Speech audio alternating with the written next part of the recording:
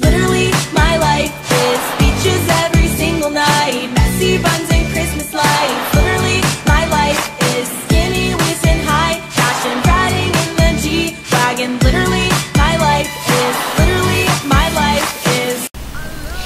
Hey guys, this is Selena Cloud here, and you know, we're about to hit the 2018 year. We're about to reach the end of 2017, and I thought I'd do an update video to see what is happening to my channel in the new year. So, I'll be going by this in parts, so be sure to, you know, watch the whole video because it's going to be about everything I'm doing. Cause I love the nighttime. Okay, so yeah, before I I get into a crazy comment section mode, let's get this one thing clear. I am not canceling the series, okay? We just started. I ain't quitting now. Anyway, for the update on Sailor Guardians, um, to all the voice actors, I'm gonna email you guys pretty much the episodes up to the mid-season finale, and then I'm gonna email you guys, email you guys, sorry, the rest of the episodes from there after like a pause. The reason why I'm doing this because from a friend and from what she and I thought, mostly her, because I did not think up with this. um, from what she told me that it would make sense for me to send the send the lines, I mean the scripts to every single voice actor, so that way y'all can finish it in one go. And once pretty much I finish filming the entire series, I can pretty much make a schedule for when episodes will come out. So that way y'all can get episodes constantly like probably like every single probably like every week or month. Who knows?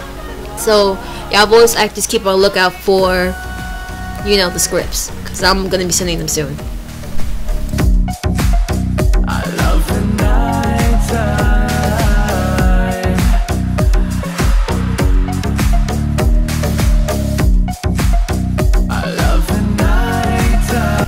strange magic um, is actually a really special type of series for me because it's focusing on mystery gaming and also pretty much fantasy and all that um, in my original draft i wanted to make it just be magical mystery where this girl moves to a strange town and she experiences all types of stuff and she's trying to figure out the disappearance of Bella Goth.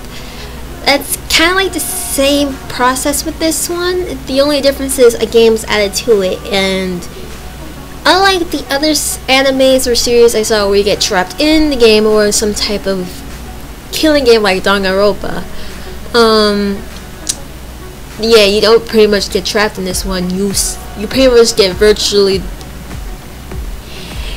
in simple terms, you pretty much get virtually put into the game, and whenever you take off the glasses or whatever virtual thing I'm going to be stuck with, um, you pretty much end up in the location in town. So basically, you put on the glasses, you'll appear as if you're in your um home base. If you take them off, you'll you appear in the same room.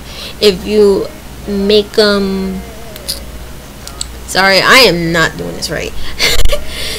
basically you put on the glasses the um, game goggles then you pretty much appear in the game you start your character or you continue with the same saved character then you basically roam around like you know like a normal player would do and if you take them off basically you appear in another location so that's pretty much the only thing I'm allowed to tell you and the casting call will be pretty much up soon the moment I get up to the mid-season finale script. Um, from what I can tell, I think the series might be about 12 or 13 episodes in total. If there will be another season, I don't know. But yeah, that's pretty much all the updates I had on that one.